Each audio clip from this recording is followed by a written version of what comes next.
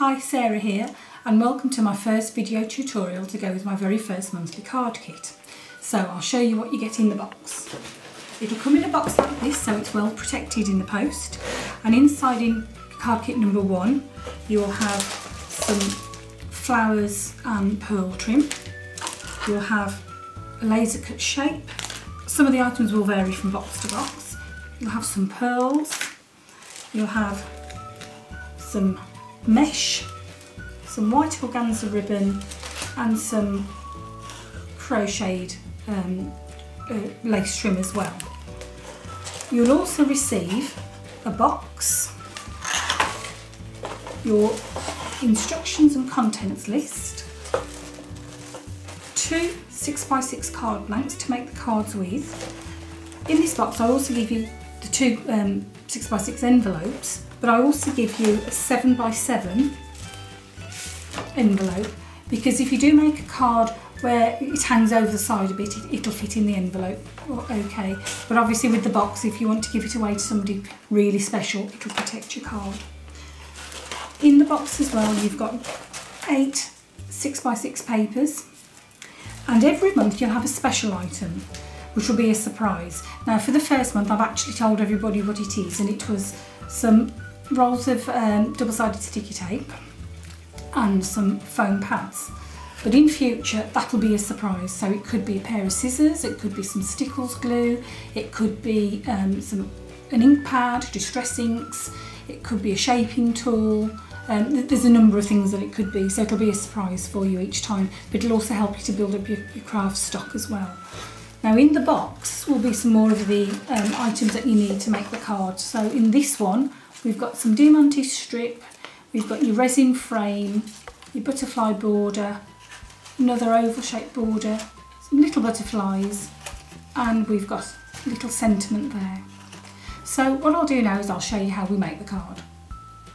Okay, so let's see how we can make the card. So what I've done is I've already stuck a couple of the papers that are in your pack uh, down onto the card. I've just trimmed them to size and I've used an edge distress, distresser just to roughen up the edges because I quite like the look of that.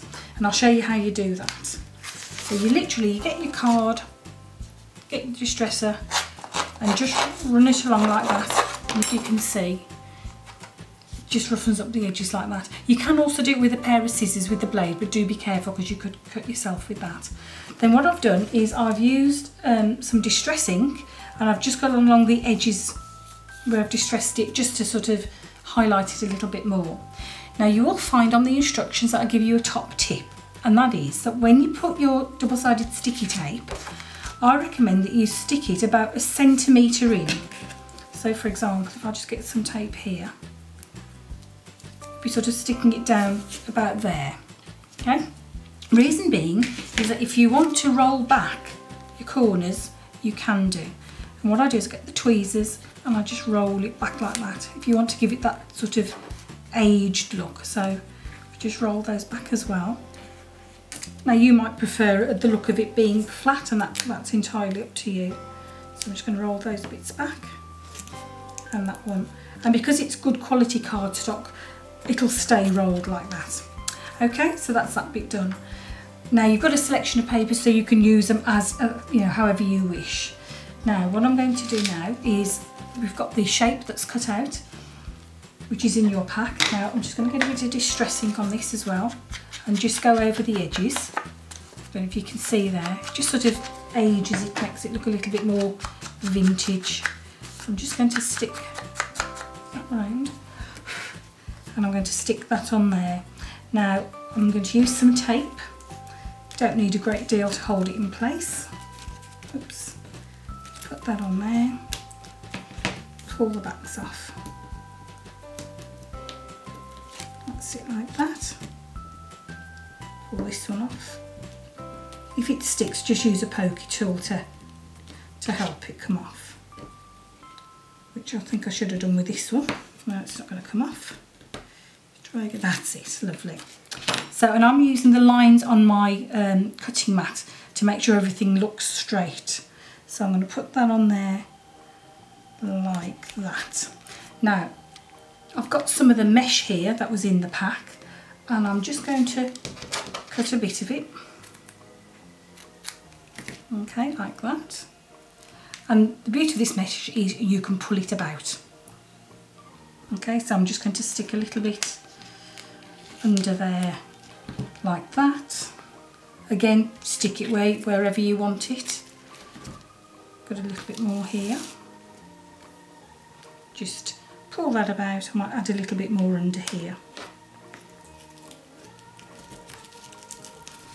That's it like so.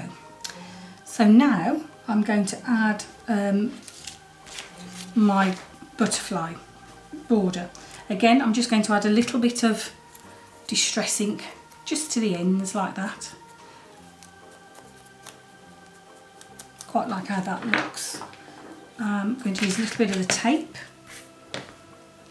and I'm just going to add that now. So I've just put a bit of tape on the edge there pull the backing off and I'm just going to try and just slip that under there because if you remember that bit was a bit loose wasn't it? Because I've put my tape a bit further down. So let's see if we can get that in. Yep perfect. Okay so I've got that on there. Now I've got my frame. It's already got some little foam pads on it but I might just add a little bit more. So I've got a couple here. Pop one on there. Or you might even find you'd, you'd rather use uh, perhaps some silicone glue or a glue gun just to make sure it's definitely in place. Let's take the backing off that one. And I think I'm going to stick that about, mm, about there, I think roughly in the middle. Now remember this is just a guideline for you so you can stick, stick them wherever you like and I'm just going to get my little label, or I should have done that first really. So just pull that off slightly, that's it. I'm going to lever that through and then what I'm going to do is put another foam pad on the back there, take the backing off and then just bend it slightly. Just raises it like that. Now I've got some flowers that are in the pack and don't forget by the way that um, these little like ribbon spools that you get with it, you can use these in your cards, you know, so don't let them go to waste. So it's just now a case of deciding where I'm going to put flowers. Mm, it's good that's broken off. Let me see. one here. So let's get some more foam pads. Again, you might want to use your glue gun on this one. So pop that on there. Got another one here. Take cover off there. And again, I'm just going to get my uh, distress ink and just tone it down. Otherwise, you might find the colours are a bit too bright. That just tones it down a little bit. Um, now I've got some of the butterflies here. Now what I do is I get my tweezers and I just push like that. Okay, and whilst I'm holding it, again, just a little bit of the distress ink. I've got some Cosmic Shimmer Glue here and what I'm going to do is a little bit of glue on the back there and I'll just pop my butterfly there. I've got a small butterfly here in the pack. Again I'll just put a bit of distress ink on him.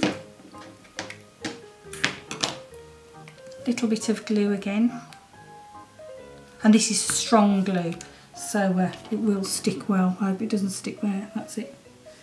Just perhaps pop that one there. Now I'm going to use some of my Diamante strip. So I'm just going to cut that. And I'm going to add a little bit onto my butterflies I think. So what I'm going to do, I'm just going to bend my card up a second so I don't get glue on the back. I'm going to put a bit of glue along there. Put my strip on. A little bit of glue there. I think I'm just going to cut that a little bit smaller as it's a smaller butterfly. Put that on there. and I'm just going to use some of my gems now. Perhaps pop one on that butterfly there.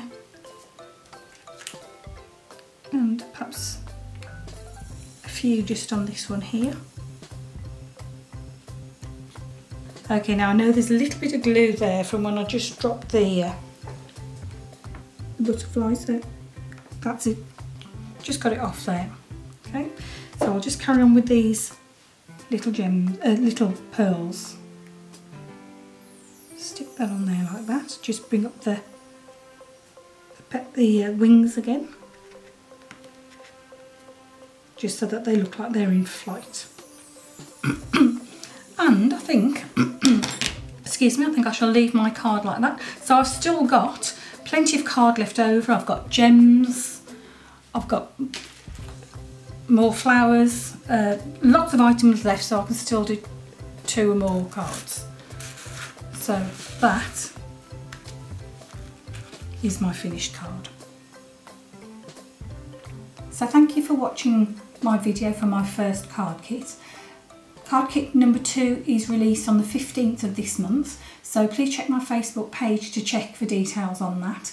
Um, it's going to be another exciting kit, lots of lovely goodies inside, and I hope you'll watch out for the next video to go with that too. So thank you, bye.